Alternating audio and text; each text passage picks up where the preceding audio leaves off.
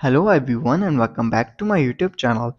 So guys today in this video I'm gonna tell you how to fix Hey Siri not working issue on iPhone 15, 15 Pro and 15 Pro Max. So guys many iPhone 15 users are complaining about that their Hey Siri is not working properly and they don't know how to fix this.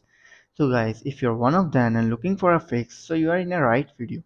In this video I'm gonna tell you how to fix this Hey Siri not working issue.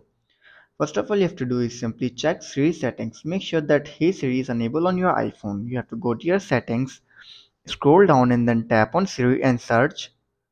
Now tap on listen for and you have to make sure that Hey Siri is enabled. If it's off then you have to do is enable it. After this then you have to do is verify internet connection. Siri requires an active internet connection to function. Make sure your iPhone is connected to Wi-Fi or cellular data.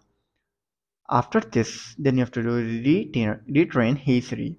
If Siri is having trouble recognizing your voice, you can retrain Hey feature. Go to your settings, go to general, sorry, go to Siri and search. Simply tap on listen for and turn it off back and then turn it on and retrain your Siri. If this doesn't work, then you have to do is check your microphone. Indicate that the microphone on your iPhone 15 is not obstructed or damaged. You can test the microphone by recording a voice memo or making a phone call. If your voice, if your microphone is okay and you're still facing the issue, then you have to do restart your iPhone 15. A simple restart can often resolve minor issues. Turn off your iPhone by going to your settings, tap on your general, scroll down and then tap on shutdown shut down your iPhone and then restart it after 15 to 20 seconds later.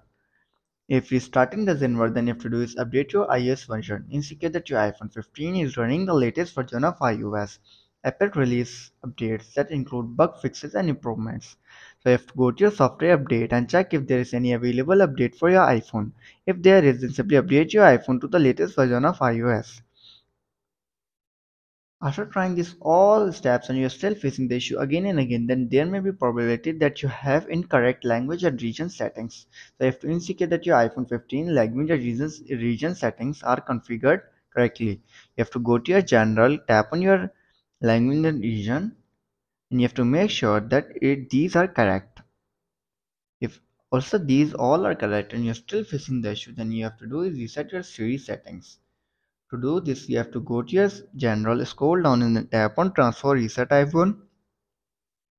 Tap on reset. Tap on reset all settings, enter your passcode and fix your issue.